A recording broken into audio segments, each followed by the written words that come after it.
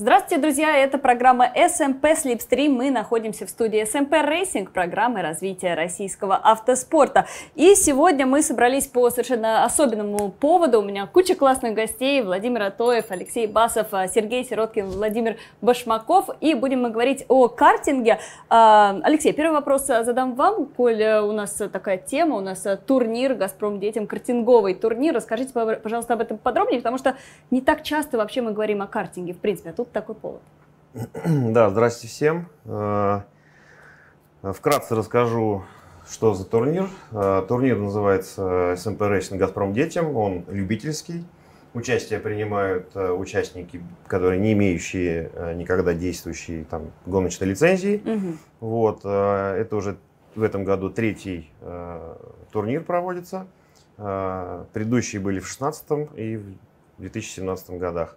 Потом была пауза у нас, и в этом году руководство приняло решение э, о возобновлении детского этого турнира. Турнир очень э, масштабный, охватывает э, много городов России. В этом году у меня их 16 городов и 17 площадок. То есть в Москве у меня две площадки, где принимают участие. За первый отборочный тур приняло в этом году 819 участников. Ух ты! Да, то есть это очень так достойная цифра, хотя э, в предыдущие года были, э, была цифра полторы тысячи детей, но и городов было больше, там 24 площадки э, картодромные и 27 город был. Это же сколько техники надо подготовить и сколько людей задействовано? А, ну, это, значит, прокатный картодром вот, со своей имеющейся техникой, со своим персоналом тренерским. Вот. Формат простой, пять частей э, турнира. Э, приходишь, э, приходит участник в прокатном темпе, показывает время, отбирается первые шесть времен, попадают в следующую часть, часть турнира и, соответственно, так дальше. Потом проходит обучение участник каждый. Между собой они там соревнуются на каждой площадке в каждом городе и отбирается, соответственно, сетка. А так как городов много, я их поделил на зоны. То есть в этом году у нас три зоны. А, сибирская, центральная и южная. А какое возрастное ограничение? Вот э, два здесь человека хотели бы поучаствовать. Это 33 годика нормально? Нет, Ребенок нет, пройдет? мы как бы, э, у нас детский турнир. У нас три возраста, 9, 11, 12, 13, 14, 16. Вот три возраста, которые могут принимать участие в этом турнире. Владимир, э, я знаю, что картинг это вообще основа основ автоспорта. С какого возраста лучше начинать? Э, в каком возрасте приходить и родителям отдавать детей в картинг, если те хотят гоняться? Добрый день. Чем раньше, тем лучше. Э, лучше всего это делать в 6 лет, я считаю. И недолго позаниматься прокатным картингом и дальше начинать заниматься уже профессиональным картингом, выезжать на спортивной технике – есть класс микро для детей от 6 э, до 8 лет. И Россия единственная страна, в которой проводятся соревнования в классе микро. Поэтому mm-hmm. это дает возможность с самого юного возраста привыкать к автоспорту. Я видела, да, как э, это забавно со стороны смотрится, когда совсем маленький ребенок, у него даже шлем кажется больше, чем он сам, и вместе с картом даже часто взвешивают. То есть э, не, не, ребенок оттуда даже не выходит, прям так поднимает. Да, так и есть. Очень забавно. А, Сергей, я знаю, что ты много занимаешься детским картингом, тоже в России значительный вклад в это а, вносишь. А, вообще большой интерес? Сколько детей к тебе приходит в академию? На самом деле картинг это основа основ, да, это то, с чего начинается в большинстве своем любой автоспорт. Поэтому э, и, во-первых, да, приходит много, и наша задача увеличивать да, этот поток, увеличивать, собственно, воронку да, тех людей, которых мы можем заинтересовать автоспортом. Потому что, понятно, прокатный картинг это не Формула-1, но прокатный картинг, он доступнее и понятнее для большинства. Поэтому именно на прокатный это картинг, точно. да, вот на такие первичные там базовые занятия можно собрать принципиально больше людей, да, получить больше воронку, создать определенный отсев, да, э, и тем самым, собственно, наполнять уже какие-то действительно спортивные дисциплины, да, потому что вот э, дополню как раз сказанное, да, Володе, что действительно, да, ну, э, тренд такой, что ты начинаешь в прокатном картинге, да, получаешь некие первые азы вообще о физике автомобиля, да, там, как тормозить, как разгоняться, там, э, как Плюс строить траектория. плюс, да, ну, безусловно, конечно, теория, да, а после этого, то есть наша задача в том, что не просто сделать что-то точечно, да, что там вот там помочь здесь, обучить там, а создать целую среду, в рамках которой, да, э, спортсмен, вот он пришел в картинг, да, попал сразу к нам в программу, и уже с нами идет, да, там и там на прокатном картинге, уже там на полуспортивном, да, в полуспортивном чемпионате и, собственно, выступает уже там под эгидой, например, нашей команды в чемпионате России, там, будь то в классе микро, будь то в классе там каких-то, да, уже там, а, более быстрых, более взрослых. Вот, поэтому задача, а, ну, то есть я всегда на все люблю смотреть системно, да, и задача создать э, полноценную среду, да, в рамках которой, да, вот как раз через э, турнир «Газпром» детям, который вообще mm-hmm. в будущем будет охватывать аж 20 э, картодромов, да, создать очень большую входящую воронку, да, людей, которым это интересно, которые хотят тренироваться, обучаться, да, и создать, собственно, такой естественный отсев – да, и продвижение да, наиболее талантливых а, да, по, вот, через всю нашу вот эту среду до профессионального спорта.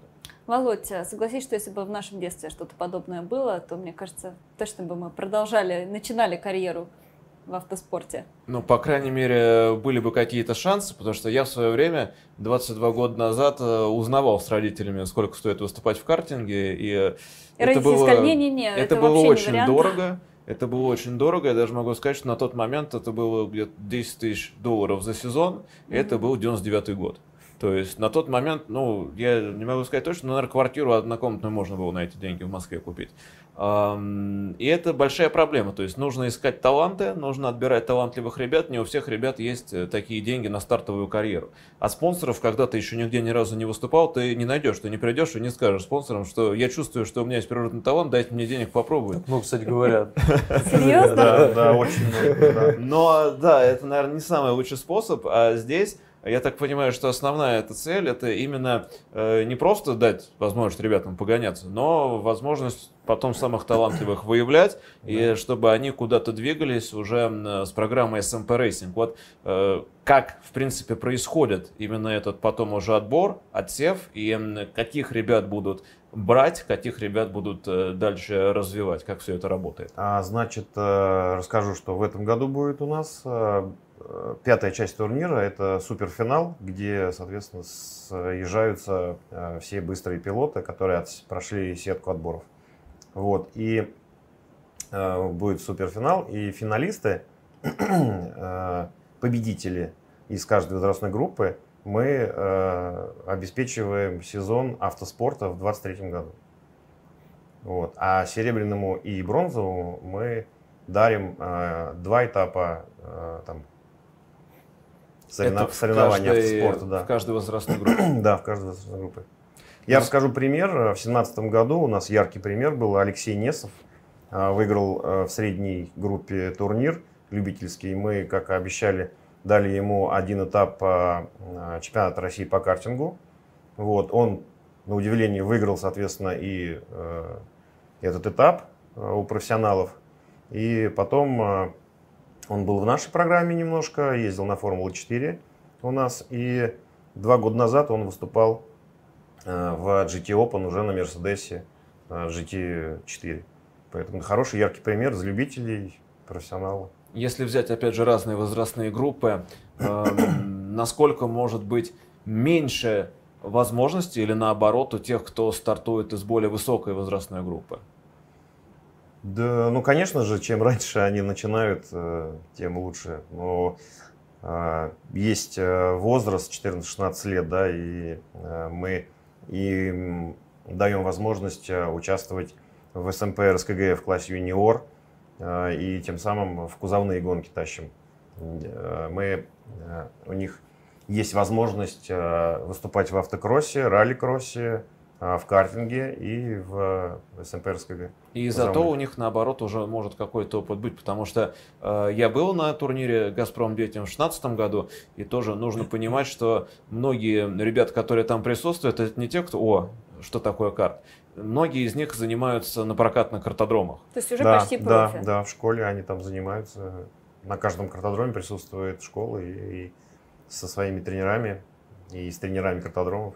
Ну, в принципе, занимается. насколько я знаю, даже с других картодромов приезжают ребята. Да. То есть многие из них уже достаточно хорошо, особенно если они прошли уже какой-то базовый отсев, они уже достаточно хорошо подготовлены, насколько это можно сделать, скажем так, на прокатном картодроме. Да можно, а почему нет? Ну, то есть э, надо просто поставить перед собой цель, выкатываться, вкатываться, привыкать к покрытию, к картам, э, к тем, э, которые находятся на, на картодромах, потому что техника разная бывает. А какой уровень, вот э, глазами профессионального пилота, да, если оценить, э, какой уровень э, у ребят в разных категориях возрастных? То есть это уже приходят почти готовые гонщики, вот, пожалуйста, давай ему более серьезную технику, или все-таки это скорее для любителей, которые хотят подняться в профессионалы? Я посетил несколько городов, где проходит турнир, и мне довелось увидеть э, ребят, которые уже прошли отбор, то есть это топ-6 из каждой возрастной категории. И хочется отметить э, довольно высокий уровень их подготовки и даже проверить, э, не бывало ли когда-нибудь у них гоночной лицензии.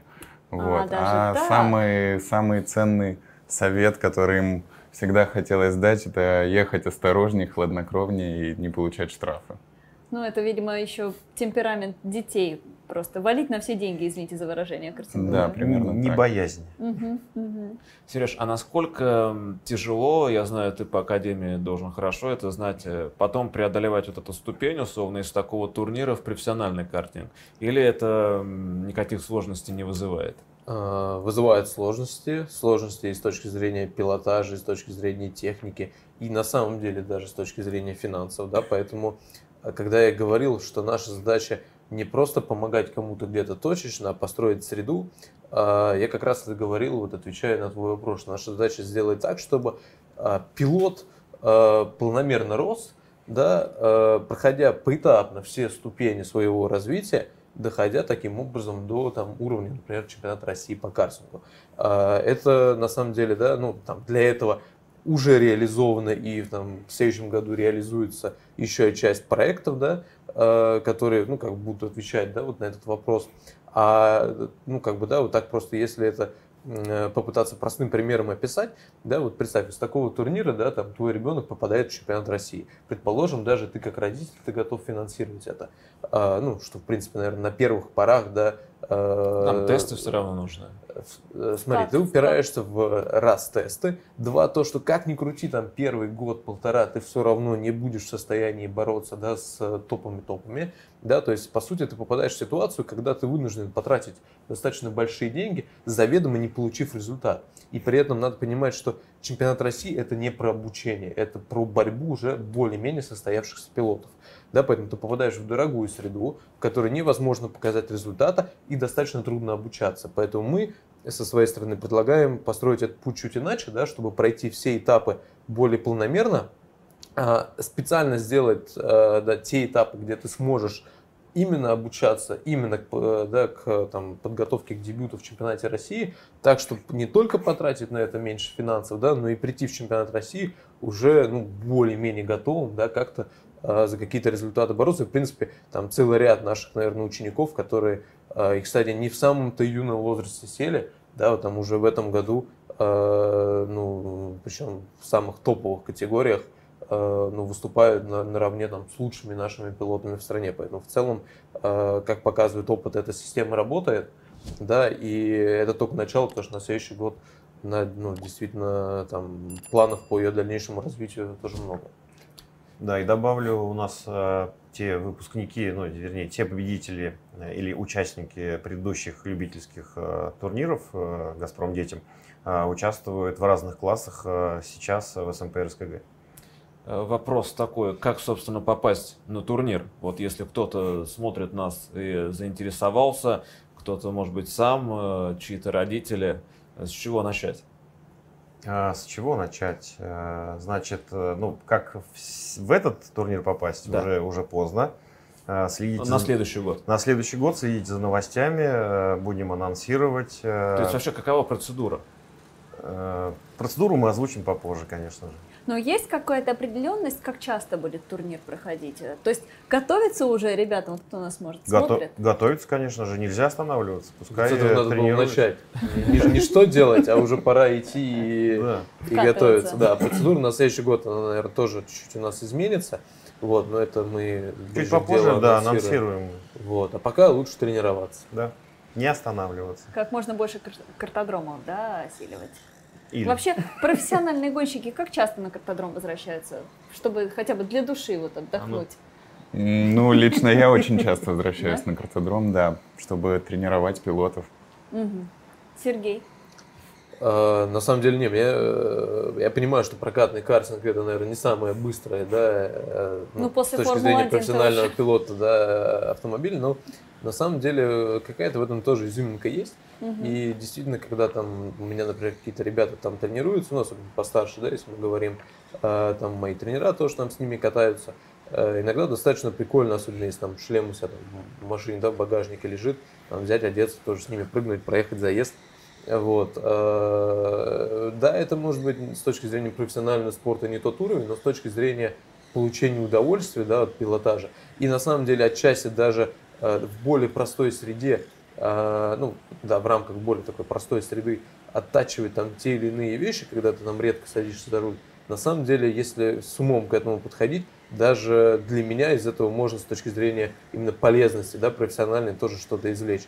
Поэтому, да нет, это на самом деле круто и здорово. И даже если это больше как развлечение, это все равно полезное развлечение, потому что именно через ну, да, такое развлечение мы опять же привлекаем людей в автоспорт, Да к и лучше водить в автоспорту. целом И в целом, да, это объективно, да, наверное, если человек к этому с умом относится, то ну, с точки зрения вообще контроля автомобиля, что и отражается, наверное, косвенно, да, не прямо, но косвенно на безопасности дорожного движения, это ну, тоже отражается в лучшую сторону.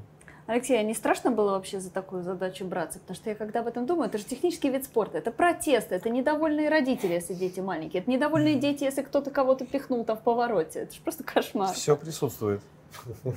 Все присутствует, и с каждым моментом э, приходится э, ну, п- разрешать э, ту или иную проблему. Поэтому у тебя два мобильных телефона всегда. Да, два мобильных телефона. Один Иногда, для судей, да? да, иногда, п- когда приходишь э, там, на процесс обучения, Мгм. и сразу тебя э, окружают э, родители с, со своими, соответственно, вопросами, э, потому что они тоже все между, общаю, между собой общаются. Мгм. Вот. Но это, я думаю, что это очень хороший как бы, и турнир, и показатель, то, что есть интерес. Вот. Ну и самая главная задача, соответственно, нам нужно передавать опыт, нам нужно расти смену и вытаскивать, э, искать любителей и дальше продвигать их в автоспорт. А есть какие-то цифры, сколько, допустим, городов в будущем вы планируете охватить? Ну, чуть попозже мы анонсируем, конечно же, еще раз повторюсь. Здесь надо было попозже Да. с вами встречу назначать, я поняла. Вот, Мы да. поторопились. 12. Вот, ну, просто есть несколько проектов, соответственно, от этого зависит и количество городов. Сейчас готовится просто Да. большая а, документальная работа от Федерации, да, потому что мы вот пока говорим про прокатный картинг, надо понимать, что прокатный картинг на настоящий момент это не есть спортивная дисциплина. Поэтому сейчас ведется на самом деле очень много работы, чтобы сделать ее таковой. А сколько у нас прокатных картодромов вообще? Есть какая-то определенность?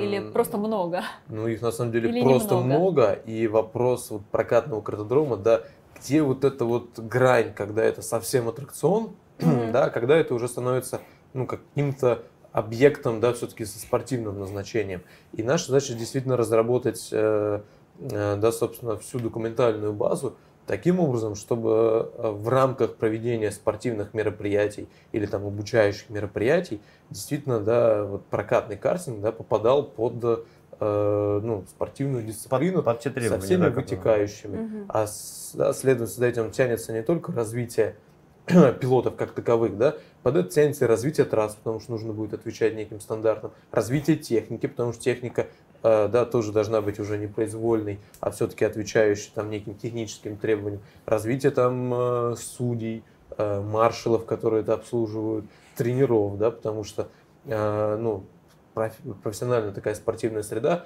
требует да, не только от пилотов большего профессионализма, а вот, собственно, да, э, всех вовлеченных в этот процесс. Мгм. И, собственно, да, вот наша задача это э, максимально оперативно проработать, буквально там в течение там, месяца, полутора. И, э, да, соответственно, уже к следующему году вот запустить обновленный, назовем это так, «Газпром детям», да, SMP Racing «Газпром детям», вот со статусом спортивного соревнования, с, да, со всеми вытекающими. Все-таки важную информацию мы смогли сегодня А какой-то попозже мы получить. анонсируем. Да. Вообще с картодромами, кстати, интересная тема, потому что мы знаем, есть открытые картодромы в Подмосковье, которые тянут реально на трассу уже настоящую гоночную. Есть, мне кажется, более-менее несколько, там, может быть, 3-4 картодрома в Москве, которые являются такими более-менее общепризнанными. Да, а есть там, не знаю, картодромы, просто шины стоят на парковке, и убитые карты.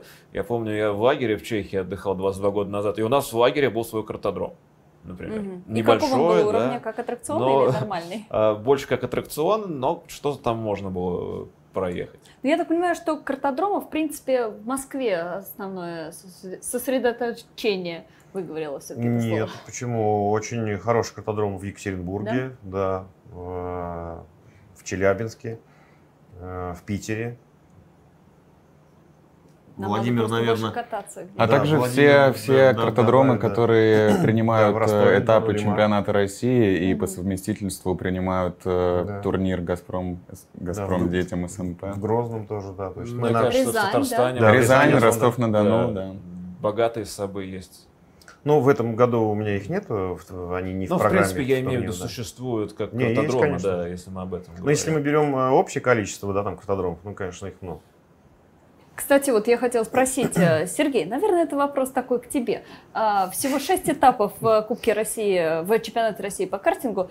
Это не слишком мало, особенно учитывая, что, как правило, бывают какие-то технические исходы. То есть здесь вероятность, ну, не знаю, случайности и удачи, что ли, возрастает в э, титуле чемпиона. Это как посмотреть. С одной стороны, конечно, хотелось бы больше, с другой стороны, надо понимать, что у нас э, всегда, когда проходит чемпионат России, перед этим проходит просто какое-то всероссийское соревнование Мгм. на этой же трассе. То есть как такая, как ну, в обиходе, да, разгонная гонка называется. Вот, чтобы там ну, пилоты приехали, э, попробовали на ну, как бы, трассу, вкатились, э, настроили технику и, собственно, подготовились к чемпионату России. То есть это сразу же 6 умножаем на 2, это уже 12 гонок. Мгм. Да, плюс у нас есть всякие там весенние трофеи, осенние трофеи, зимние там какие-то гонки. Но и суммарно мы приходим к тому, что э, да, там ну, больше 20 гонок можно спокойно в сезон ехать. Плюс многие еще сочетают там чемпионат России там с серией Rotex Max, например, да. И ну таким образом, по крайней мере, те этапы, которые легче в плане там пересечения, да. Ну и таким образом, на самом деле, календарь там гоняйся хоть каждые выходные. Вот. И э, ну, как бы с этой точки зрения, наверное, слишком, да, вот э, э, как-то, да, фокусировать именно на чемпионате России может быть и неправильно. То есть должны быть соревнования разного статуса, да, имеющие там, э, ну, все-таки, да, и для участников, да, и для организаторов, э, ну, как бы, да, такой разный, наверное, э, ну, как бы не только спортивный статус, да, но и в целом как бы разный уровень. Вот, и, э, ну, наверное, комплексно это как раз отвечает на ну, все потребности и все задачи. Плюс у нас есть еще кубки федеральных округов. Конечно, я про это говорю. И, эм, ну, если мы даже возьмем чемпионат Европы по картингу, там в среднем где-то 5 этапов за сезон. То есть, э, если мы берем чемпионат мира, то вообще картинг, он по-другому устроен. Это один этап, по сути, да? Э, как где-нибудь скорее в других видах спорта. То есть, это не то, что там 20 или 15 этапов. Поэтому, мне кажется, небольшое количество этапов внутри одного сезона какого-то конкретного вот чемпионата, это, в принципе, нормальная ситуация для картинга во всем мире. А когда тренируете молодых пилотов, э, все секреты рассказываете или все-таки это уже для, для старших информация? Нельзя все сразу рассказывать. Ага, Да, главное не перегрузить. вот так. Сереж, ты теорию больше даешь? Это главное нет, главное э, систематизация. Большая проблема не только в России, но и в мире, то, что обучающий процесс имеет некий хаотичный характер, что вот поворот, его надо проехать вот как-то так. От этого столба поверни, мимо той шины проедь, вот той трещинки нажми на газ. И объективно, вот мы смеемся, объективно э, в большинстве своем тренировочный процесс выглядит именно так. Ну, это Да. же привязывает к конкретной трассе, получается. Если Конечно, вот от это той привязка трещинки. к конкретной трассе, конкретному повороту, конкретным условиям. Поэтому э, здесь мы возвращаемся опять к э, системному подходу. То есть, ну, есть некая, наверное, база знаний в совокупе с навыками, да, которую, ну, как бы, да, ты должен передать своему ученику. Поэтому э, с этой точки зрения, это опять же вот к вопросу наших планов о будущем, да, что э, э, наша задача, да, сделать образование системным, ну, то есть как в школу мы ходим. Мгм. У нас же нет такого, что сегодня мы там э, решаем какие-то сложные там формулы по физике, завтра учим там букву А, там как выписывать, а потом там еще что-то. Ну, то есть есть там ну, как- какое-то образование, то есть есть ну, системность этого. У нас сейчас... То есть уровни, нужно Да. еще делить на уровни. Конечно, обязательно делить на уровни. Каждая программа должна чему-то отвечать, э, как-то сертифицироваться, оцениваться и так далее. То есть, на самом деле, здесь очень большой пласт работы. Э, Он отчасти уже был проделан нами там два года назад и, в принципе, достаточно успешно себя уже показал. Но пока мы говорим только локально про Москву, да, а вот опять же, да, со слов моих коллег, что у нас картодромов много, Поэтому задача, да, как бы работать не только вот здесь, вот, да, и с нашими, а работать по всей стране, да, потому что кто знает, где будет следующий, да, чемпион мира Формулы-1. Вот, поэтому с этой точки зрения здесь вопрос не объема информации, вопрос, а, как ее подать и что усвоит, да, там, ученик, а, ну, а в большинстве своем ребенок. Вот, и надо понимать, что цепочка, да, все равно она идет, вот ты спросила про теорию, да, на трассе человек делает не какие-то, вот мне вот это прям бесит, да, когда почему-то думают, что это, ну, хаотичное какое-то воспроизведение действий. Мгм. Ты на трассе воспроизводишь то, что есть у тебя в голове. Воспроизводишь это, то есть то, как ты думаешь, ты это воплощаешь жизнь на трассе. Воплощаешь жизнь с помощью тех навыков, которые у тебя есть. Мгм. Поэтому ты вначале должен э, сделать так, чтобы та картина в голове, ну, то есть то видение пилотажа, ты которое понимал, у тебя что ты есть, делаешь. Оно, э, как бы ты должен сформировать у себя это видение, а дальше отработать определенные навыки, чтобы этих навыков хватало, чтобы твое видение пилотажа воплотить в жизнь на трассу. То есть в целом как бы механизм, как бы, да, вот весь вот этот путь становления, да, там, ну, более-менее профессиональным пилотом, он в принципе очень понятен, и он на самом деле, если прям сильно захотеть, он э, абсолютно, да, систематизируем, и э, с этой точки зрения, да, как бы мы имеем, наверное, все возможности, все данные, да, чтобы э, ну, как бы распространить это не только у нас в Москве, да, а ну, как можно шире по России, потому что, опять же, э, пилотов э, потенциально очень много, да, и кто знает, где будет следующий там, суперталант. Спасибо большое за внимание, друзья. Это была программа SMP Slipstream. Мы находимся в студии SMP Racing, программы развития российского автоспорта. И сегодняшний наш выпуск был очень важен не только а, для тех, кто любит смотреть автоспорт по телевизору, но и хочет сам принимать участие и строить гоночную карьеру. Оставайтесь с нами, ставьте обязательно, пожалуйста, нам лайки и подписывайтесь на наш канал. Пока-пока.